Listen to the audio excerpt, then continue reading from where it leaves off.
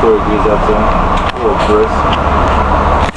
Forecast is cloudy, overcast, scattered thunderstorms every now and then.